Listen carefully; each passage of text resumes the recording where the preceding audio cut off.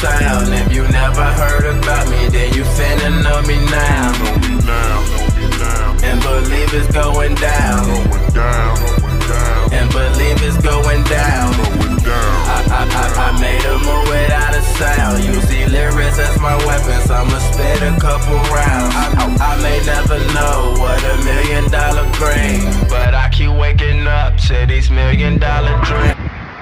Hey, yo, this is KG from Top Prize Entertainment. You know, no, I'm not Keith Lee, but I gotta tell y'all something, man. This place right here, Eat and Runs, right here on 87, bro, chicken on point, man.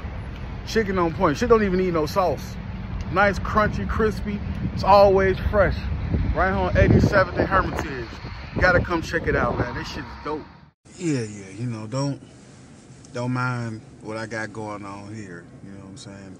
It's gonna be like this for a little while. You know, my future wife, you know, we getting married next year and she want me to grow the beard out. So I just started doing this. So it's coming in about I wanna say three or four months. I should be fully in, you know what I'm saying? I ain't gonna be Rick Ross in it in three months, but I should be fully in. But back to my point.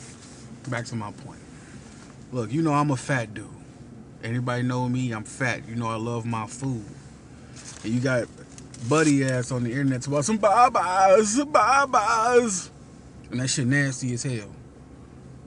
This shit right here, 87th and Hermitage, Eat and Runs. Fucking amazing.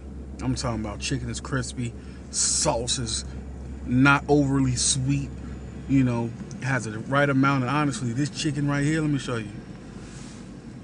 It don't even really need no sauce, but I had them put sauce on there anyway.